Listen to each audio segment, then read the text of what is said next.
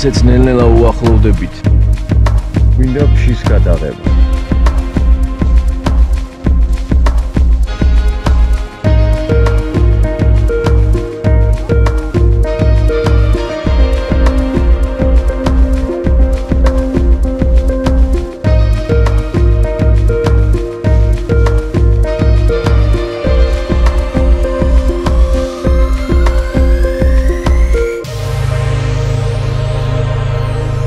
აი ცოტა წორი ნაბიჯიც და უკვე შასთანავად. ვარა, კაია. აი ესეთი მახსოვს, აი თელი ბავშვობა რომ დავდიოდით თანადიო.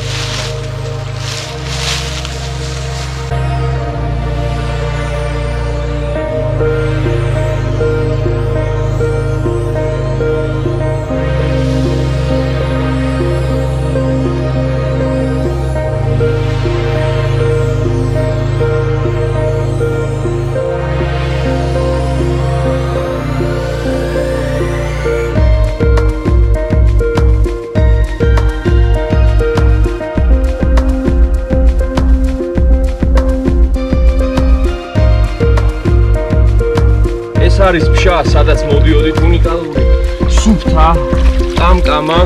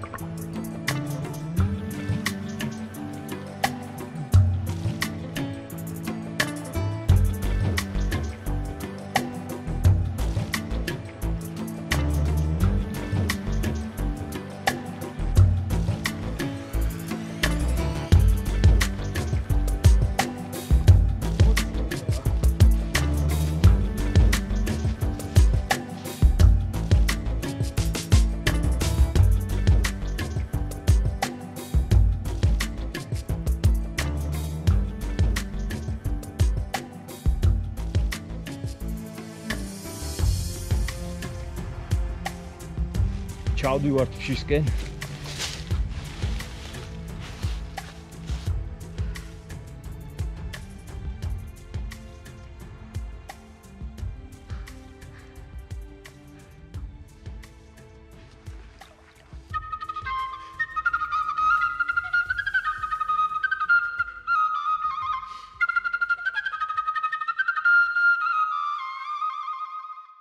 გამარჯობა ძვირფასო მეგობრებო, ეს არის რუბრიკა დღის რჩევა 36 გამოშვება.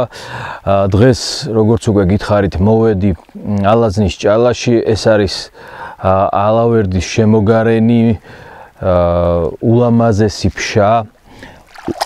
საოცარი სისუფთავის კამკამა წყალი, რომელიც გამოედინება ახლომდებარე მიწებიდან თვითონ ჭალა, ალაზნის ჭალა. ინახავს ამ ტერიტორიას, ინახავს ხელუხლებელს, ასეთ ულამაზეს და ძალიან მინდოდა ამ ყველაფერს დავბრუნებოდი, იქიდან გამომდინარე რომ ერთი რომ არის ულამაზესი, მინდოდა თქვენთვის მეჩვენებინა, იმავდროულად ეს ყველაფერი ჩემი ბავშვობის მოგონებებია, მამასთან ერთად დავდიოდით ამ ტერიტორიებზე თავის დროზე სანადიროთ აა მახსოვს შემთხვევა, როდესაც თვითონ ჭალაში ჩავ ზაფშაში ჩავარდი და დავსველდი მთლიანად ეს იყო ზამთარი და მოგვიწია მე სასტრაფო ტანსაცმლის გაწურვა მომზადება და მოკლედ ბევრი ტკბილი მოგონება იყო ამასთან დაკავშირებული და რა თქმა უნდა, როდესაც მოდიხარ ეხები შენს ბავშვობას, ყველაფერს გრძნობ განსაკუთრებულად მზაფრად, ლამაზად და ტკბილად. დღევანდელი დღის რჩევა დაკავშირებულია პირველ ყოვლისა ჩვევებთან და ჩვენს ცხოვრებისეულ ფოკუსთან. ცხოვრებისეული ფოკუსი როგორც ძველ გამოშვებებში მრავალჯერ აღნიშნე დაკავშირებულია ჩვენი აზრების ვალენტობასთან, ანუ პლუსია ეს უფრო მეტად თუ მინუსი ჩვენი აზრები. რა ჭარბობს აქ ნეგატივი, პოზიტივი, რაღაცა ნელთბილი პოზიცია ჩვენ ცხოვრებაში, მაგრამ მოდი რა თქმა უნდა თანამიმდევრულად დავიწყოთ ამაზე საუბარი. ну პირველ ყოვლისა რაც მინდა ვთქვა არის ის რომ ჩვენი აზრები არის სამართავი. ერთია რომ აზრი თავისთავად არ გეგონოთ ეს რაღაცა უბრალოდ სიტყვის მასალა, უბრალოდ რაღაცა აა უწონო და არამატერიალური რაღაცა იდეა და უბრალოდ რაღაცა აა გერა რომელიც ამ სიტყვის წარმოთქმის შედეგად ქრება, არა ეს არის ჩვეულებრივი ენერგეტიკული არსება, რომელიც მისი ხშირი გამოძახების შედეგად უფრო და უფრო ძლიერდება.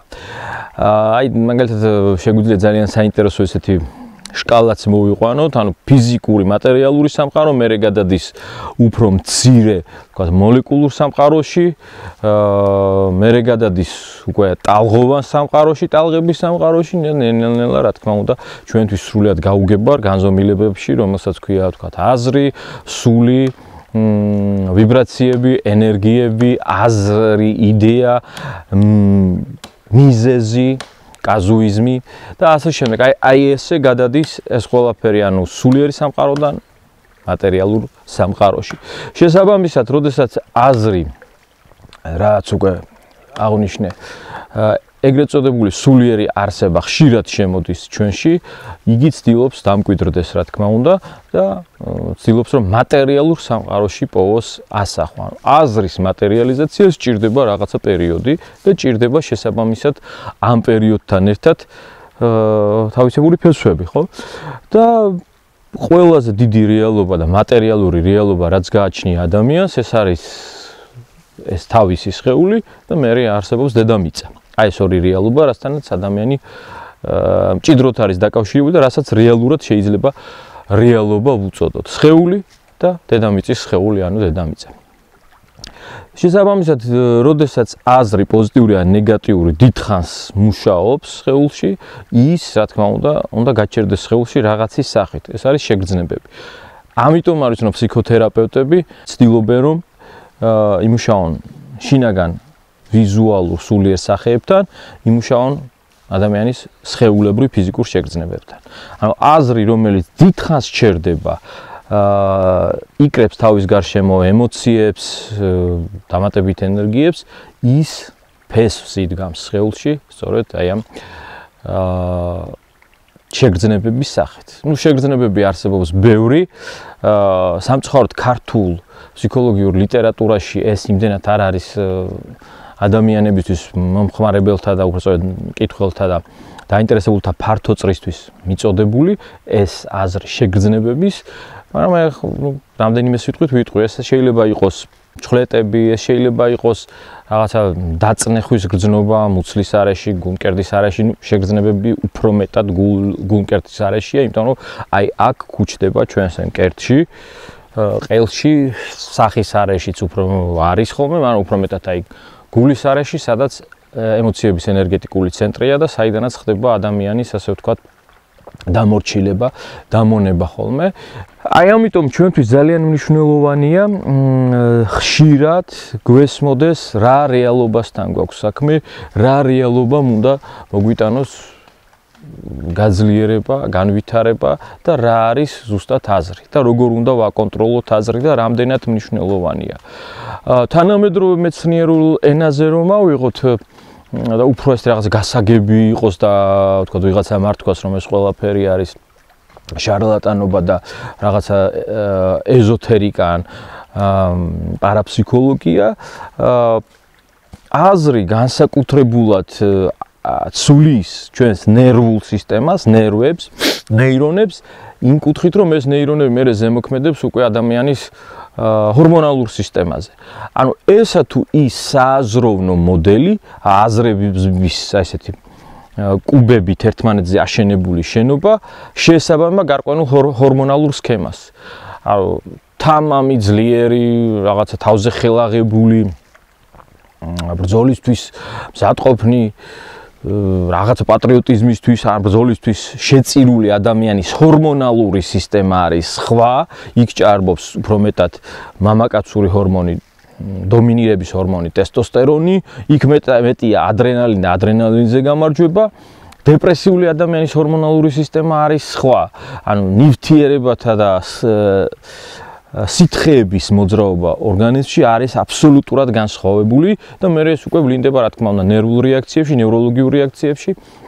ადამიანს ეს გონია რომ რა თქმა უნდა სხეული რეაგირებს. შესაბამისად, როცა ჩვენ ვლაპარაკობთ გარკვეულ სააზროვნო კონტროლზე, აზრების კონტროლი არც ისეთი ადვილია, იმიტომ რომ ხშირად ყოფილა შემთხვევა რაღაცა გისაუბრიათ, გილაპარაკიათ და თქვენ თვითონაც თქვენი წარმოდგენით, ეს თქვენი საუბარი, თქვენი მსჯელობა და ასე შემდეგ, ეს არის აბსოლუტურად ოპტიმიზმით გამორჩეული რაღაცა მჭევრმეტყველება, მაგრამ როცა მოусმენთ ას სხვისას გაიზიარებს, სხვანაირად ჭერს.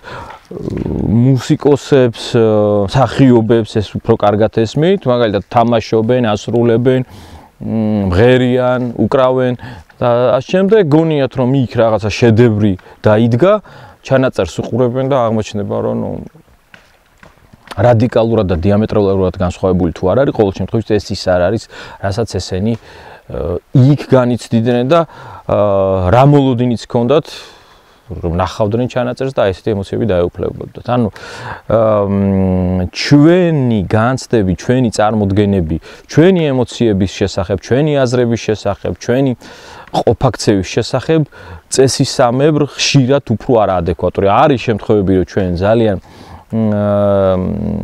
არასათანადოდ ცუდად ვაფასებთ ჩვენს აზროვნებას, ქცევას, მორალს. არის შემთხვევა, როდესაც ძირითადად მაგალითად გაზვიადება ხდება ხოლმე ჩვენი სიკარგის და ჩვენი პოზიტივის.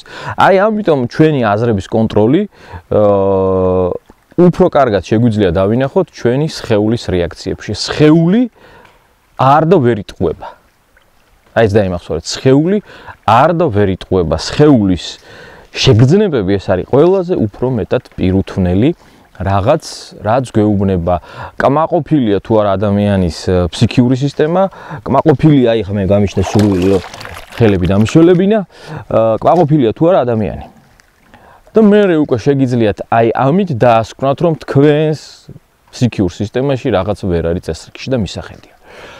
აი ეს არის რაც შეეხება აზრების კონტროლს. ანუ აზრების კონტროლი შეგიძლიათ დაიწყოთ თავად აზრების ჩაწერით, მსჯელობით, რაღაც საუბრებით.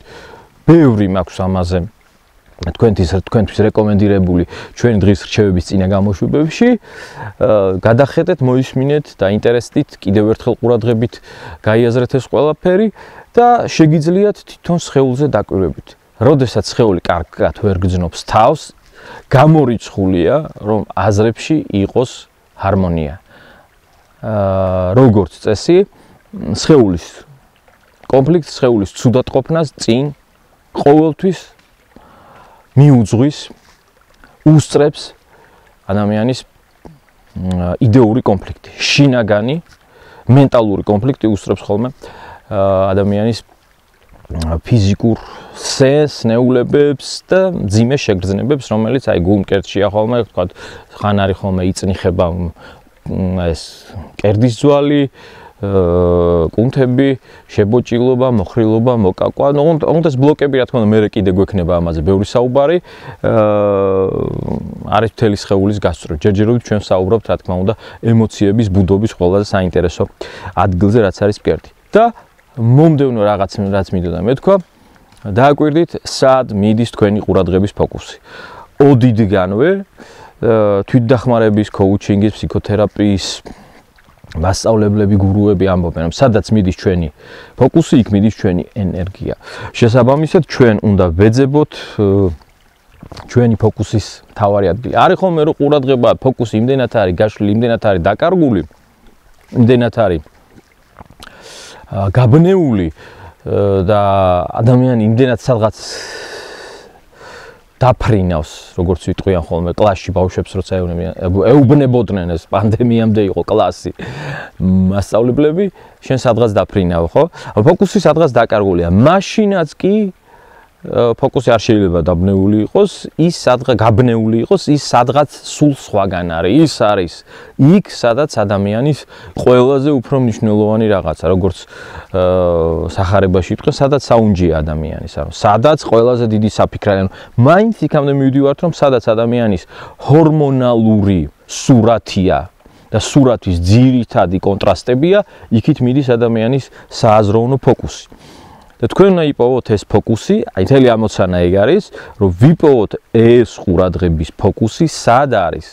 რამდენად მართ, რამდენად შეესაბამება ეს ჩვენს პრიორიტეტებს. იქნება ისია, რომ ჩვენი ჰორმონალური სურათი თლიანად არის გადართული საფრთხეების ძიებაზე და ერთი რა თქვა ტრავმული სიტუაციის შემდეგ ჩვენ ჩავიციკლეთ იმაზე რომ მუდმივად გამოვიმუშაოთ ადრენალინი და ყველაფერზე ვიფიქროთ რომ ჩვენ ვართ საფრთხეში და ყველგან საფრთხე გველანდებოდეს შესაბამისად მუდმივად გამომუშავდება კორტიზოლი, სტრესული ჰორმონი და ის აღარ გვაძლევს იმის საშუალებას რომ ჰორმონების გამომუშავება თუ ჰორმონალური ასე ვთქვათ ნახატი წავიდეს მაინც და მაინც პოზიტივისკენ. აი ეს მეგობრებო რაც მინდოდა მეთქვა აკონტროლეთ თქვენი აზრები, აკონტროლეთ თქვენი ყურადღების ფოკუსი, ოღონდ აკეთეთ ეს არა ვერბალური ანალიზით, არამედ საკუთარ სხეულზე დაკვირვებით, საკუთარი სხეულის მდგომარეობის კვლევით, გაუმჯობესებით და რა თქმა უნდა საკუთარი ჰორმონალური აი მოძრაობების, შეგრძნებების გაუმჯობესებით. როგორც უმჯობესდება ემოცია, როგორც უმჯობესდება აზრი, ხდება უფრო მეტად ოპტიმისტური ლაღი და ასე შემდეგ, ესევე იცვლება. მით უმეტეს თუ ეს ყველაფერი გადადის ჩვევებში, მით უმეტეს თუ ეს ყველაფერი ხდება ჩვენთვის დამახასიათებელი, ჩვენთვის ასე ვთქვათ, რუტინული, რა თქმა უნდა, მე ხდება ორგანიზმის ნერვული სისტემის გადაწყობა, ჰორმონალური სისტემის და ჩვენს სულ სხვანაირები ხდებით ისეთები, რომ ხანდახან აა საკუთარ თავისგანაც გვიკვირს და ვერც კი წარმოგვიდგენია რომ ეს ჩვენ ვართ თუ ჩვენ არ ვართ. დიდი მადლობა ყველას წარმატებებს გისურვებთ აი ამ რთულ ცხოვრებაში, არა მხოლოდ ამ რთულ ცხოვრებაში, იმიტომ დღევანდელობას გულისხმობ, არამედ საერთოდ ცხოვრება რთულია, ეს არის ადამიანის გამოცდების მთელი სერია, ეს არ არის უბრალოდ რაღაცა ყოფა და ყოფიერება, ეს არის გამოცდები, ეს არის ახალ-ახალი დონეების დაძლევა, ახალ-ახალი გამოცანები და ახალ-ახალი გამოწვევები, რომლებთანაც ჩვენ გვიწევს, რა თქმა უნდა, შერკინება, ამითაც არის წესისამებ სიცოცხლე საინტერესო და მნიშვნელოვანი. შეიძლება დაიწყო უბრალო მიუკარებელი ასე ვთქვათ, ინდური ტერმინოლოგია რო გამოვიყენოთ, ინდური რელიგიის კასტით და გახდე, რა თქმა უნდა, უმაღლესი კატეგორიის ადამიანი. ამ ყველაფრის საშუალება აქვს ნებისმიერს, უბრალოდ რა თქმა უნდა, საჭიროა გამოღვიძება და გაღვიძება. დიდი მადლობა ყველას წარმატებებს გისურვებთ, ეს არის ულამაზესი ალაზნის ჭა, ულამაზესი პატარა მდინარე, ფშა როგორც ვიტყვით კახეთში და იმიტომ ჩავდეკი რომ ეს ენერგია ამეყო და ესე თქვენთან მესაუბრა და თქვენთვისაც გადმომეცა ის სიკეთე და მადლი, რაც ჩემში შემოდის და ის ცოდნა, რომელიც მე ვფიქრობ რომ ყველასთვის მნიშვნელოვანია. კარგად ბრძანდებოდეთ.